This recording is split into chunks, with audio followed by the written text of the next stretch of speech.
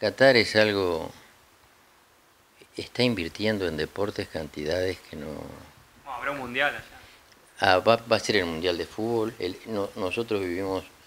en un hotel Torche durante 20 días, pero antes hicimos algunas visitas porque siempre están los detalles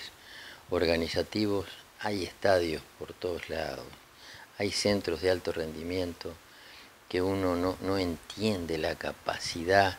el sistema, la limpieza, cómo trabajan. En este mundial eh, se bajó el récord de participación, fue un mundial de piscina corta, el gran mundial es en Kazán el año que viene,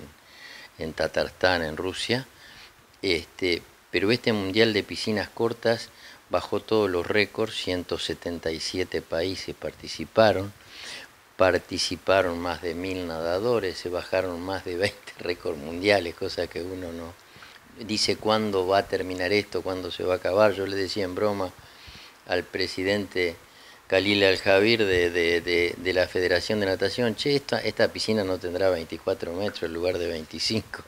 cosa que está totalmente testeado, por supuesto, pero además una convención espectacular, la primera convención tú te tenés que acordar, fue acá en Maldonado, la segunda fue en Moscú y esta tercera ahora y, una cantidad monstruosa de empresas presentaron todo lo que es deporte eh, y relacionado con el deporte. ¿De cuántos millones de dólares estamos hablando aproximadamente para la organización de un mundial de, natación? de, ese tipo de mundial como se hizo, que además Qatar le pagó a todas las federaciones que quisieron ir, que fueron 190, a dos nadadores y un técnico entre 12 y 16 años, le pagó viaje, estadía, comida, eh, eh, absolutamente todo, que hizo esta convención eh, con los lujos más grandes, porque además tienen una infraestructura hotelera increíble para una ciudad tan, tan pequeña como, como Qatar como, como Qatar, sí, en, en Qatar, y, y, además eh, una piscina que presentaron espectacular, se hizo la convención Golden para, para los técnicos de natación, a eso hay que agregarle que se hizo el primer gala dinner para homenajear a los nadadores, que en definitiva, en tu caso atletismo, de fútbol, lo que sea, los deportistas son el corazón y la base de todo el deporte y un campeonato mundial que fue eh, eh, espectacular en la organización, que llegó a más de 200, 204 territorios, porque no se puede hablar de países, Naciones Unidas tiene menos de 200 países, este, y que fue todo, todo un éxito para este tipo de campeonato, porque el gran campeonato va a ser el año que viene en Kazán, eh, con las seis disciplinas, porque ahora se le agrega esto high diving, es decir, que los saltarines saltan de 30 metros y las mujeres de 27 dan tres mortales y caen. Es increíble, más, mucho más alto que, que, que muchos puentes tirándose al agua. Es increíble porque uno cuando ve saltos ornamentales normales en la plataforma de 10 metros o los 3 metros cuando con la flexibilidad de, los trampolines a la altura que llegan, dice, pero ver aquello es, es de, una, de una adrenalina y de una emoción muy grande, las competencias de ese tipo, y las otras disciplinas, waterpolo, natación, saltos ornamentales, eh, nado sincronizado y waterpolo, que van a, a, llevar más de casi, entre unos y otros, van a llevar cerca de 3.000 deportistas y va a ser un evento espectacular porque después viene el campeonato máster en donde se calcula porque el promedio de participación es entre 7 y 10 mil deportistas. El campeonato del mundo a todo costo y el campeonato máster a todo costo de los participantes, ¿verdad? Este, y, son eventos que estamos eh, desarrollando día a día y ya tenemos muchos candidatos y ya sabemos que